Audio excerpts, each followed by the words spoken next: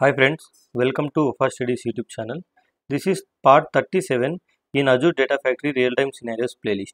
In this video, we are going to discuss inside the ADF pipeline how to check whether given date is a weekday or weekend. Based upon that, maybe let's assume in real-time scenario you want to take a decision and execute the next other activities. So how to do that? How to check if this date is a weekday or weekend or not. So let's try to understand this using a practical demo. So let me go to browser ADF Mahir. This is my data factory. I have opened it in a data factory studio. So from the Azure portal, I opened my data factory and I have clicked this open button here to open my data factory in a new tab. So here go to this author menu that means pencil icon. Let's try to create a new pipeline. And uh, let's assume uh, as I said my requirement is maybe I want to check whether the given date or the today's date is weekday or weekend and based upon that I want to take a call to execute next other activities. So for that if you see in my ADF playlist you know there is something called if activity that will help you to check the validation if the if or to check the condition. If the condition is true it will go inside the true and inside the true whatever the activities you add here and those activities will get executed. Let me go back to pipeline 1. If the condition is false it will go inside the false and it will execute the certain activities. So let's assume firstly our focus is to know how to check whether the given date or today's date is a weekday or weekend. So for that uh, we, we will be for this if activity if you go to the activities there is something called expression. This is where you need to mention the condition uh, whether uh, whatever you want to validate. So in our case we want to validate whether the today's date is weekday or weekend. That means it is Monday, Monday to Friday are weekdays, Saturday, Sunday are weekends. So that's what we want to validate. How to do that? Uh, let me explain you this. So let me add another temporary pipeline here. So you know there is something called UTC now, right? So let me do one thing inside this temporary pipeline. Let me create a variable, maybe var1. So why I'm, I'm creating this temporary pipeline is to check my whatever the expression I am going to develop. I want to develop it here first and then I will use that expression inside my pipeline one. Okay. So I for that purpose I created one some sample variable. So to this variable, if you want to assign any value, you need to use the set variable activity. So here inside the set variable activity under variables tab, I selected my variable and here whatever the expression I pass, that expression output will be given as a value into this uh, variable one. So what I will do, if you want to know today's date, there is a function called UTC now. So now you have IntelliSense also. If you if you type at the rate and then UTC, see UTC now is a function that will give today's date and time. So let me practically show you that. So I am simply assigning UTC now into my variable one. If I execute this, this will give my today's UTC date time value. So let's wait for the execution to complete here. Execution completed. Now if you see, we got our today's date and time. So now what we will do, uh, I, we want to check whatever the date we got it here, whether this date is on in weekend or on weekdays. So how to do that? See, do one thing. Simply there is something called day of week okay so if, if i scroll down here so there is a function called a day of week right so if, if this this this function is going to give me uh, week number in timestamp actually so let me use this so to this function you need to supply the date of whatever the date you want to check. So maybe i will use utc now function here. So whatever the date today's date it is there supply that date into it and then get the day of the week.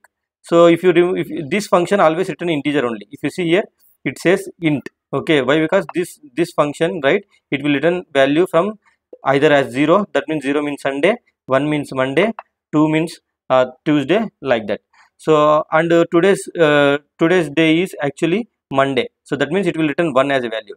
But variable is a string type but you are trying to assign a value of integer. See day of week will give integer value and integer value you are trying to assign into a string type. That's why you see this expression which is type of warning.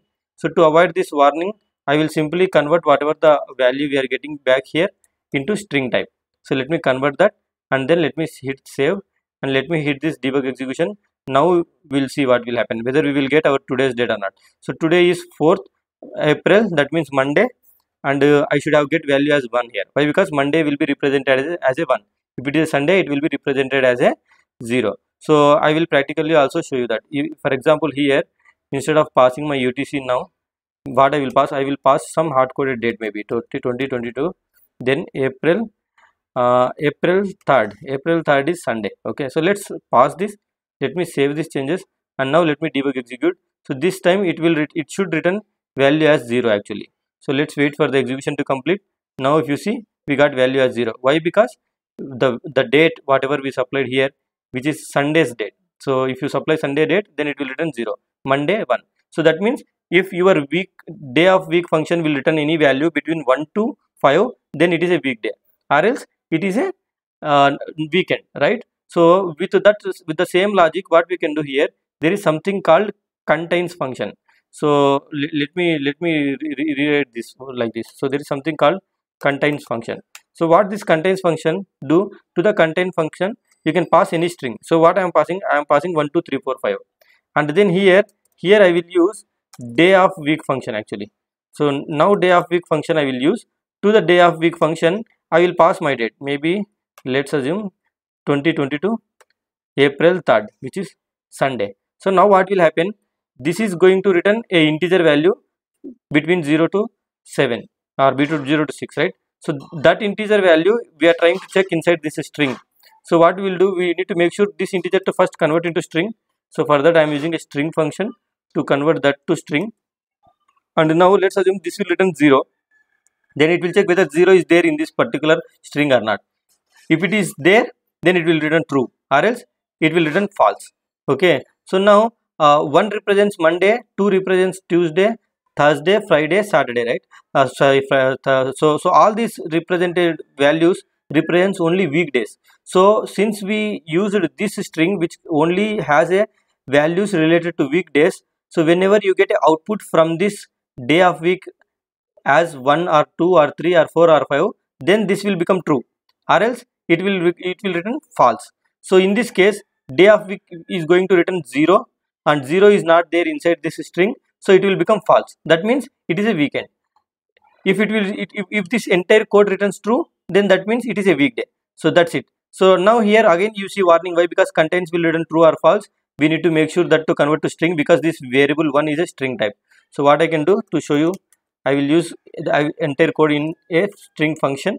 Now let me save these changes now if i run this as you are expecting it will return false why it will return false because we supplied sunday date and it is going to return 0 and when 0 is not there inside this uh, contain function string 1235 so it will return true so that means if we are getting false from this output then that means it is a weekend if we are getting true, then that means it is a weekday. So what I will do, I will use 4th April 2022. This is going to return 1. That means Monday. So this entire code is going to return true. So let me save these changes here. Now let me debug execute this and let's see this time what will happen. So I just started my execution. My execution completed and if you see now we got it true. So that's how. So now we, we, we computed our expression and we tested it completely. So now take this code whatever we have developed here control C and then I am going to my main pipeline or my, my main uh, where I want to use this code. So here I will be supplying. So what I am doing contains if this output is in between 1, 2, 3, 4 and 5 then it is going to turn true. That means it is a weekday. Maybe if it is a weekday then inside the true maybe I want to perform a copy activity let's assume. So I'm just I'm I'm not going to implement anything inside the copy activity. I'm just selecting something and then maybe if it is a false that means if it is not a weekday then i don't want to do anything i don't want to copy any data so that's how you can use this uh, expression actually so if you closely observe what we are using we are using this contains function and we we are using a string which represents all the weekdays and then we are using a day of week function to calculate day number from the week for a given date and then that number we are checking whether inside this string is available or not if it is available, then that is a weekday. If it is not available, then that is a weekend. So this is how you can come to know whether given day is a weekday or a weekend in the pipeline execution and then take your execution logic according to your need. So I hope you understood this video. Thank you for watching this video. Please subscribe to my channel and press the bell icon to get the notification whenever I add videos. Thank you so much.